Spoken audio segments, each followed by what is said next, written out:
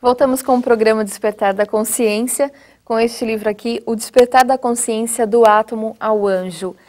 Sebastião, nós estávamos falando sobre essa fome incontrolável que todo mundo tem hoje em dia, que não é necessariamente é, a, a fome de obrigatoriamente ter que comer para se manter vivo.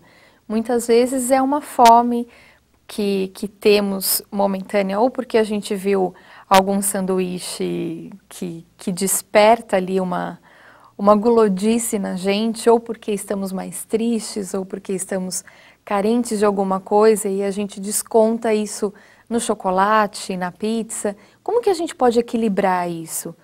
A proposta do ensino universal dos espíritos é exatamente mostrar que a essência que realmente nutre e norteia a própria consciência está em nós mesmos.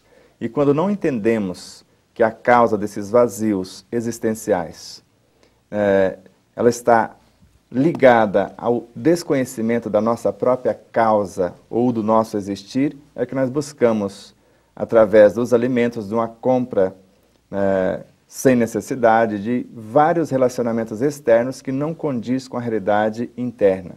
Por exemplo, quando nós estamos ansiosos, que a ansiedade é filha da insegurança, que é filha do medo, e o medo é proporcional ao conhecimento que se tem daquilo que deseja fazer. Se eu não tenho o conhecimento devido, eu fico ansioso, porque eu não sei, eu não domino a situação, então uhum. eu fico ansioso e às vezes por conta disso, para suprir essa ansiedade, às vezes eu já vou para o chocolate, para isso ou para aquilo.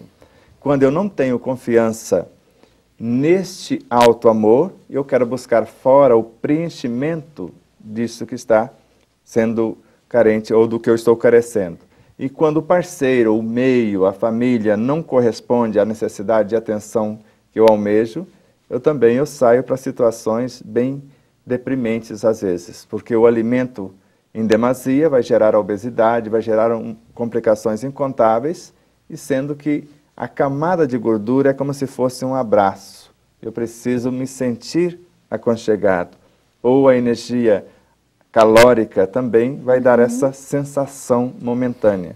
Mas depois que passa pela mastigação, porque estaria mais a nível olfativo de paladar essa carência que eu vou perceber por esse prazer momentâneo, e quando o alimento já está no estômago, pelo contrário, vai causar um desajuste muito maior.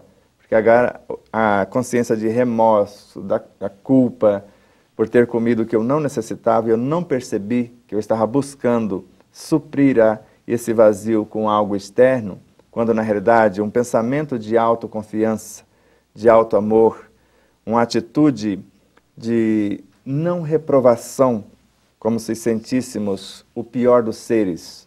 Então, a autoculpa, a autopunição, se eu invertesse a situação e tirasse daquela ação em si, do que está acontecendo naquele momento, uma lição nobre para, pelo menos, não fazer algo semelhante, eu já estaria no caminho desse, desse autoencontro, desta autoiluminação. Porque tudo que necessitamos de fato já existe em nós. O reino de Deus está dentro de nós. O Cristo está dentro de nós. O Deus cósmico também está dentro de nós. Ele está em todas as coisas também. Mas a primeira atitude, o primeiro propósito do ser humano é mergulhar e aprender a ler o livro oculto que existe em si. Ele vai com esse conhecimento, com esse cabedal que ele já tem, ele pode aprimorar isto, ele pode compartilhar isto, ele pode construir novas realidades a partir do que ele já se dispõe ou do que ele se propõe. Mas enquanto não compreendermos a realidade que somos, nós vamos ficar expostos a todos esses conteúdos, a esse consumismo desenfreado que não nos causa prazer, muito menos bem-estar e menos ainda a felicidade que nós buscamos. Com relação à comida, normalmente quando a gente vai é, descontar nossas emoções na comida, nunca é num legumes, nunca é num prato de salada, é sempre um sanduíche, um chocolate. Qual é a explicação para isso?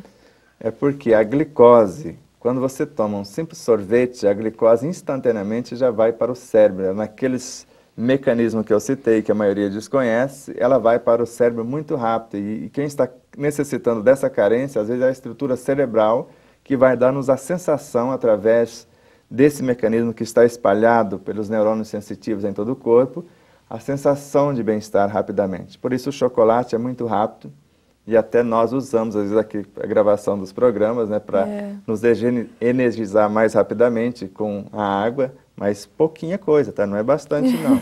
Porque ele né, transforma-se nessa glicose muito rapidamente. E o alface demoraria muito, porque engana-se os vegetarianos achando que deixando de comer carne, que já quase está prontinho. A proteína já está quase pronta para ser incorporada. O vegetal vai levar de 24 a 48 horas para transformar-se em proteína animal em nosso universo, se soubermos respeitá-los. Hum. Por isso que demora mais. Então, nós não vamos ser atraídos por um prato de, uma, salada, uhum. porque ela vai demorar nos dar aquele prazer que nós estamos buscando por meio da alimentação. E às vezes nem a carne vai dar isso, porque ela é mais demorada. E o chocolate, sorvete, o docinho já está praticamente pronto a molécula de glicose.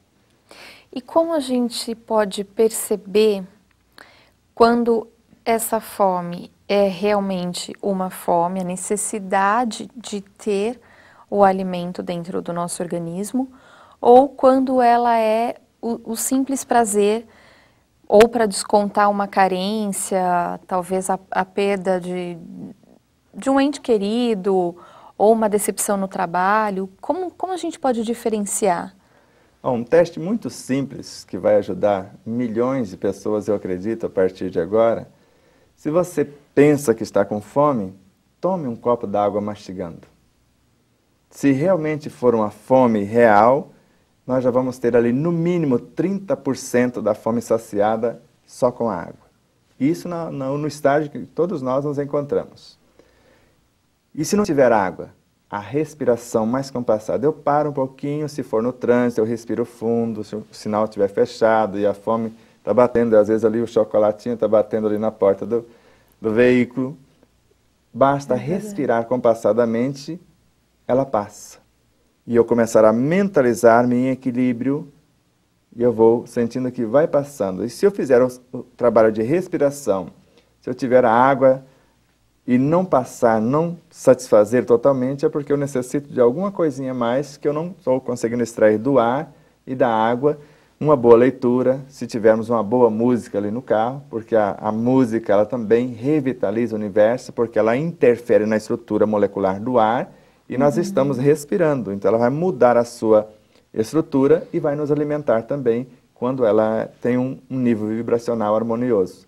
Então nós temos a nosso favor, se estivermos no trânsito, o ar que respiramos, a garrafinha d'água pode estar ali na porta, a boa música pode estar ali, só não dá para ter uma leitura, porque é. aí vai distrair demais. Mas dá para usar vários mecanismos e acalmar o nosso universo e se realmente necessitarmos de algo mais sólido, ele pode esperar até o momento aprazado para não desorganizar aquilo que estamos fazendo.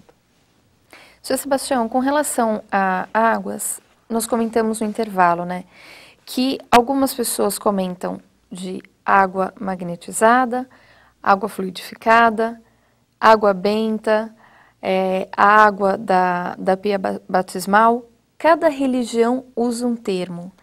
Existe uma diferença entre elas ou isso são rótulos colocados pelas religiões?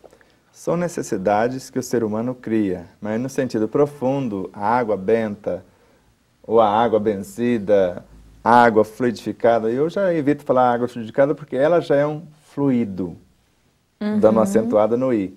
Eu não vou fazer nada se não colocar um fluido, dando a amenizada no i, para enriquecê-la. Então eu não estou fluidificando, eu estou magnetizando, eu estou especializando a água, eu estou dando a ela uma qualidade melhor. E a água benzida também, a água benta, ou todas as demais, tem a mesma interferência, porque a pessoa faz uma oração, ela pede, né, seja o sacerdote, seja o padre, seja o pastor, qualquer um deles vai fazer uma oração, alguma intenção ele vai colocar naquela água para que ela transforme num elemento curativo, em algo que vai pacificar o universo do outro. Então a intenção é que conta para que o efeito nessa água torne mais abrangente, mais eficiente, vai depender dos valores morais de quem está interferindo e da do seu crédito espiritual com o mais além. Né? O, quer seja diretamente com Deus, como acreditam alguns, quer seja diretamente com Cristo, com o Espírito Santo, com os Espíritos ou com a sua própria consciência, porque tudo está em tudo. Então depende da confiança, né, da lucidez dos valores de cada um que vai atuar sobre o contexto. Então qualquer pessoa pode é, magnetizar a água? Eu digo qualquer palavra, porque o cientista, o Dr. Imoto, ele colocou a palavra harmonia numa garrafa d'água, a estrutura da água transformou-se mais harmônica. Foi fotografada a água antes e após colocar a palavra harmonia. Então eu posso dizer com o pensamento, eu posso expressar com sentimentos, eu posso fazer a, a prece ou a oração em silêncio ou em voz alta, eu posso colocar uma música, porque ele mostrou que é o contato de uma boa música. A água também altera a estrutura, com a música com valores deprimentes detona com a molécula d'água. Então nós vamos ver que é uma ordem disparada. Ela pode ser escrita, ela pode ser verbalizada, ela pode ser sentida, ela pode... Depende do que nós temos naquele momento. Então é a intenção é que está por trás de tudo é que, que conta mais do que o, o meio que nós usamos às vezes. Tá bom, nós vamos para um último intervalo, voltamos rapidinho.